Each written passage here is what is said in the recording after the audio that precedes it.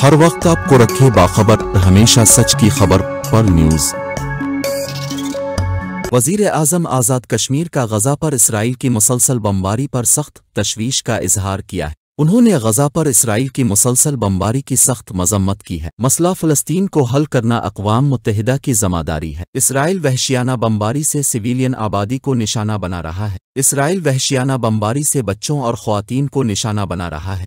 वज़ीर आज़म आज़ाद कश्मीर ने कहा कि मुस्लिम उम्मा गजा पर इसराइली बमबारी रुकवाने के लिए जानदार किरदार अदा करे। इसराइल के जालिमाना इकदाम से इंसानियत शर्मा रही है। कश्मीरी अवाम अपने फ़लस्तीनी भाइयों के साथ है। कश्मीरी अवाम के दिल दुखी और वो गमजदा हैं। अरब ममालिक अपना जानदार किरदार अदा करे।